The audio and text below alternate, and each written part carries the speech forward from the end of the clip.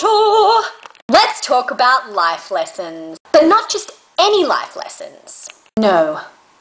Serious face. I'm talking about the one life lesson that will never be outdated, underused, or overridden. The one life lesson that has consistently saved me from the most boring, awkward, and confusing situations. The nod and smile. So much more effective than the bend and snap. Okay, Elle Woods. So the bend and snap may get you the date, but the nod and smile will get you through the date. Didn't think of that, did ya? Ha, you Harvard graduates. Now, I don't know quite who taught me the nod and smile, but I'm guessing that, like many of you, it was probably first suggested to me as a joke. It's okay, just nod and smile. And of course, at the time, I laughed. Yes, yes, good one, good one. but secretly, I was thinking, such vision, such distinction. And little did that person know that they would change my life forever. Even if it was the only memorable thing they did, because I can't remember them. now, for those of you who don't know the Nod and Smile, come out from under that rock. Here's a little breakdown of what we're dealing with. Step one fix your eyebrows appropriately to look interested. Step two nod to show responsiveness. Step 3. Smile to show understanding. Boys, I understand this might take you a little longer to master because you, you know, have trouble doing more than one thing at a time. Now, this technique may seem small and insignificant, but it's surprising how often you will use it.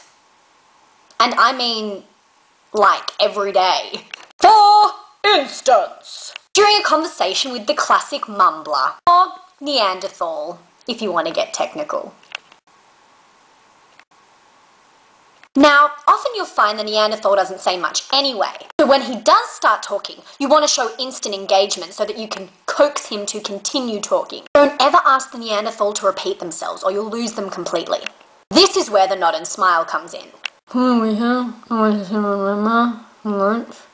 This whole whole thing. That's pretty good. Just make sure that you look absolutely riveted. You could even throw in one of those, hmm, hmm, hmm, just for extra effect. Now, if you don't know any Neanderthals, that's okay, you're off the hook there. But you'll encounter the nod and smile elsewhere. Another more commonplace for us to experience the nod and smile is in loud bars and clubs. If the nod and smile was a world record, then loud bars and clubs would win every year. There comes a point in every bar slash club conversation where you have misheard the sentence so many times that you would actually be considered mentally retarded if you asked, What? Sorry? Pardon? Say again? One more time. So it's at this point that the nod and smile becomes your best friend.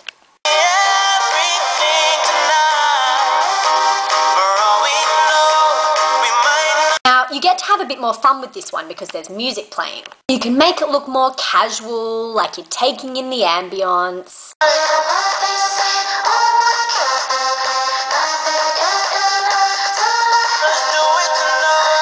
And if there's any laughter happening around you, than acceptable to throw in a laugh as well. Even if what they're saying isn't really funny, this is a safe situation because everyone's laughing so you don't look like a psychopathic person with voices in your head. The voices. Why do they stay?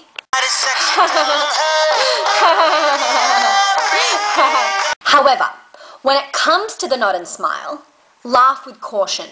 I say this only because you don't know what they're saying. So therefore, you run the risk of laughing at something depressing and possibly offending them.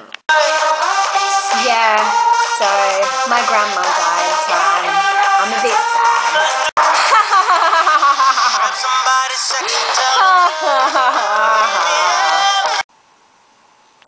yeah, we don't want that. now, the way to avoid offending someone with a nod and smile, pay attention.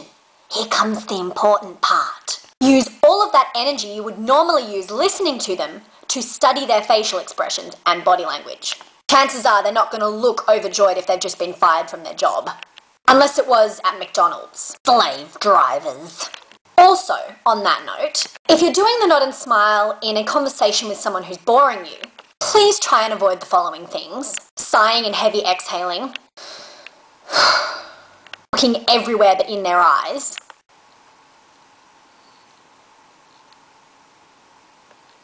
or pulling random hairs off your body.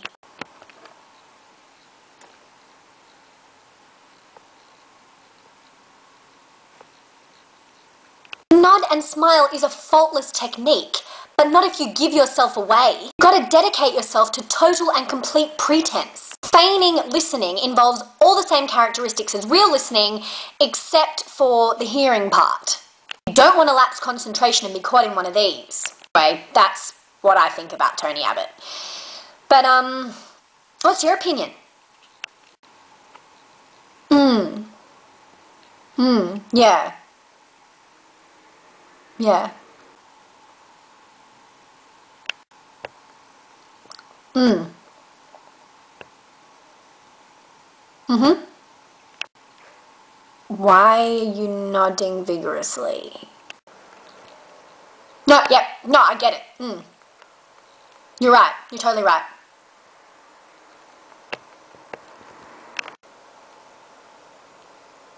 Security! Nah, not fun for anyone involved. Anyway, I think I've given you enough to think about for one video. I'm just to go back to pretending to study now. If only you could pretend to study like you pretend to listen, like the only thing in life that nodding and smiling doesn't work for. 嗯，嗯，哈哈哈哈哈哈，哈哈哈哈哈哈。